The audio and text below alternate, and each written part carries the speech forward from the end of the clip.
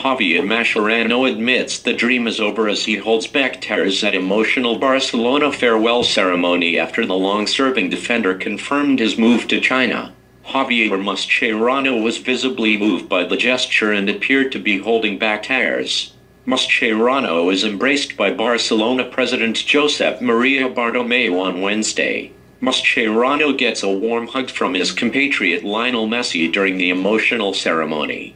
Mascherano was given a photo of himself alongside the 18 trophies he has won at the club. Ernesto Valverde, Andres Iniesta, Messi, Sergio Busquets and Gerard Pique. Mascherano was given a standing ovation by his ex-Barcelona teammates and manager. The Argentine defender sits on the podium with his 18 trophies on display in the background.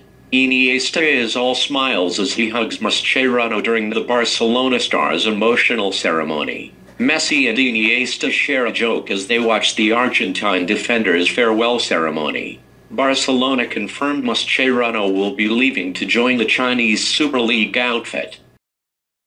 Please like and subscribe my channel.